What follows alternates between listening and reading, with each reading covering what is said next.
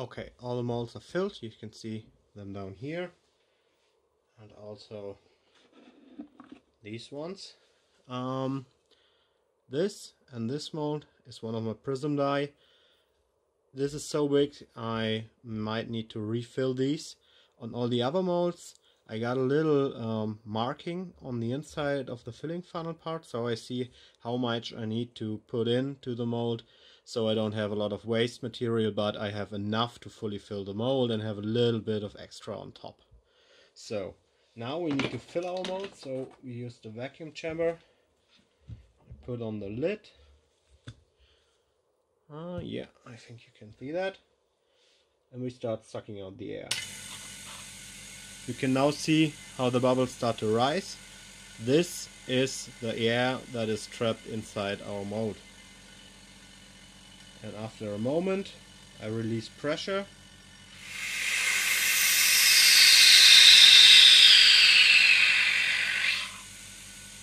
And as you can see, here and all the other molds, the level is now much lower. So I pushed in a lot of material and I repeat this a few times to make sure all the molds are fully filled.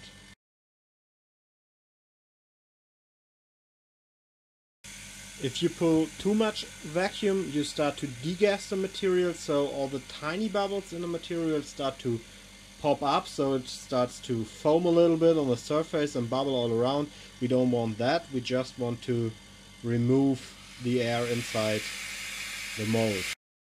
Okay, I let this sit for about five minutes. We have 40 minutes of working time. A few minutes are already passed. I will let it sit for about five minutes. So if there are any bubbles stuck inside, they have a little bit of time to come close to the filling spot. And then I draw a last time vacuum to make sure I catch these bubbles as well. And then we go into the pressure pot. Okay, five minutes are over. I use the time in between to clean up a little bit of my workspace.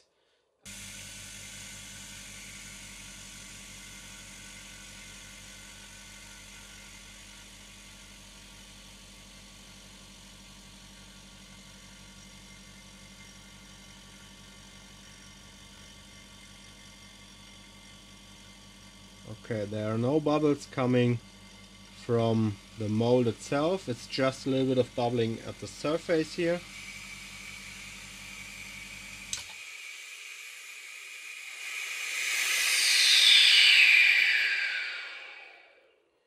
Okay, so we still have bubbles in our material, but the molds are nearly fully filled and the funnel makes sure that when we use the pressure pot and we eliminate uh, the bubbles inside the mold, uh, that there's enough material that can flow back in and we make sure the mold is fully filled. So now we put on the lid. And I put you a little bit back. Okay, light is not the best here to do this. Let me see. There you can see a little bit of a pressure gauge.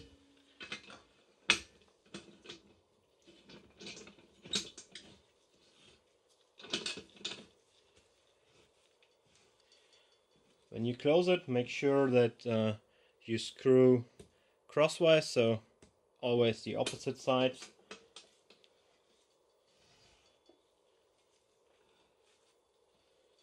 And then evenly, step by step, go from side to side to make sure you don't bend your lid even if it's that thick.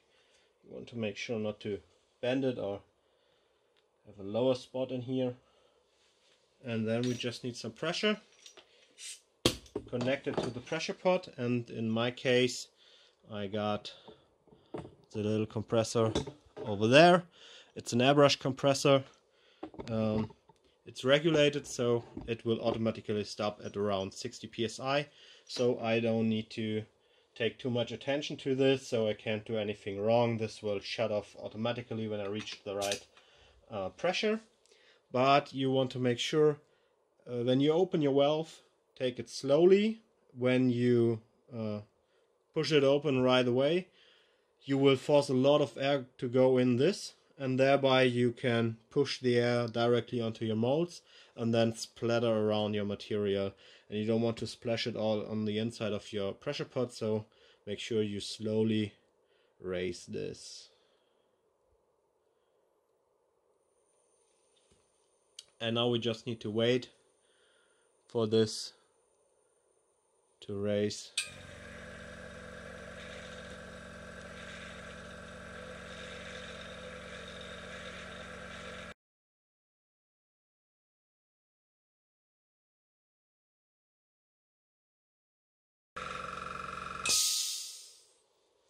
and we are done.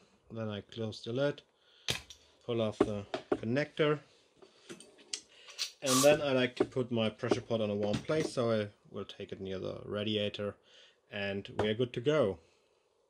So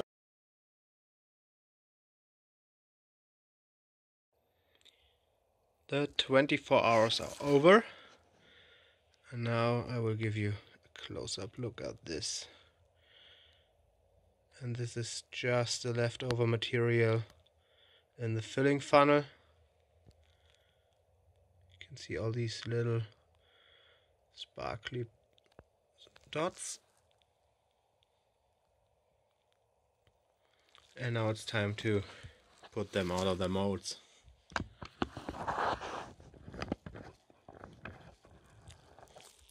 So I like to use a little basket some clippers.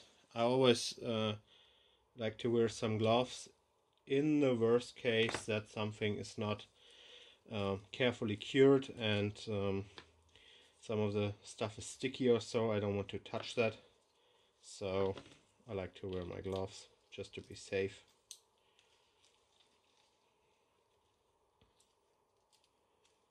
And here we have our first one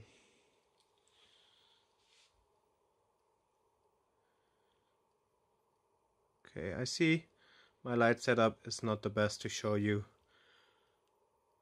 Uh, there you can see a little bit of a glitter.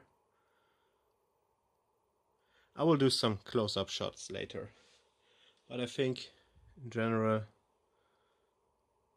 there you can see it a little bit it's translucent enough so that's the kind of smoke that I like and then we clip off these. You can see here I like to leave a little bit of material left. So that's something I can trim off later and don't have any issues to lose something from the die so I can carefully get to my dimensions. So these will go just loosely together uh, for the next cast I need to um, prep them again. So I just uh, let them loosely.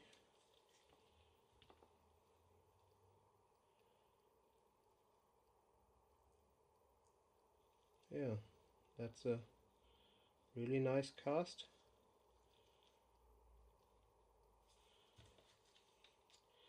and I will go a little bit quicker now and run you through the complete demolding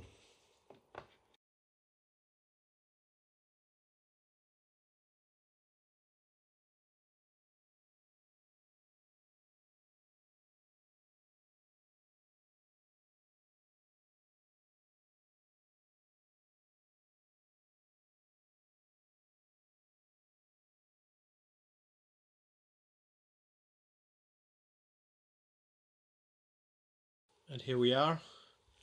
Oh, All the dies are cut free. Let's see if I can get you a better idea. You see here on this guy the nice greenish glitter very happy with the result that's pretty nice.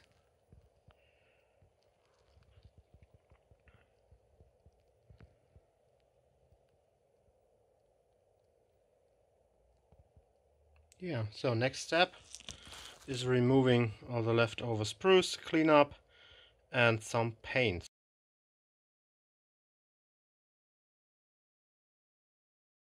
So our dice are finished now.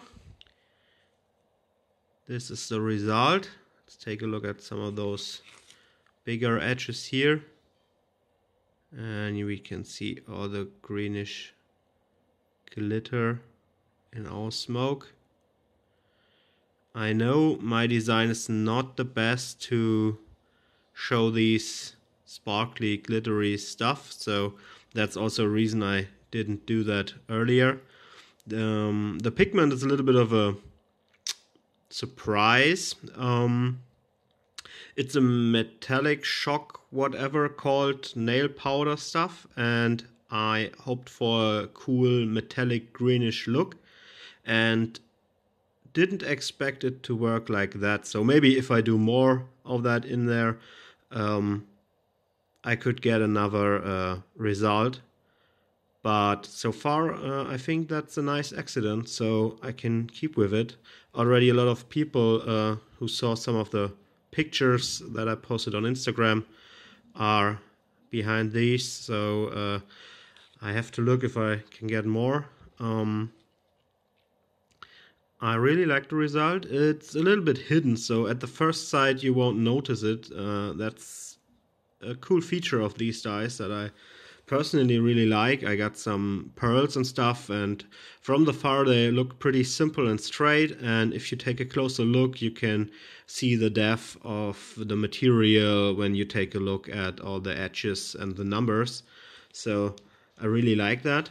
Um, this is a little bit better I think I caught a flake here, so maybe I didn't clean up the mold from the last cast, so sometimes this happens, but for prototype I think that's good enough. And these are some, this is, uh, this is the prism die. He got a lot of surface area, so that's a good one to uh, show this effect but I also have these I will take some shots when the sun is out so uh, I put them right behind this part here but I think you can see the effect right now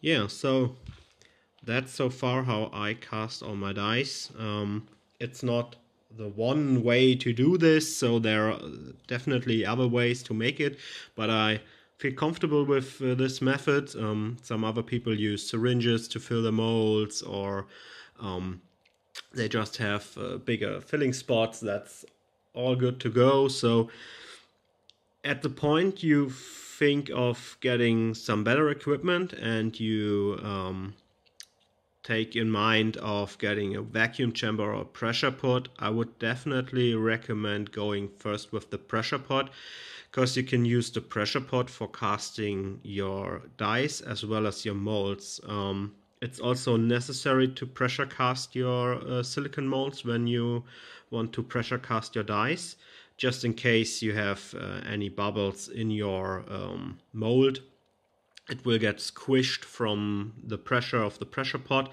and thereby you will have a bumpy die. So maybe if you have a bubble right next to one of these edges here uh, if it gets squished together uh, it will deform the mold so you will have a little bump on the outside of your die.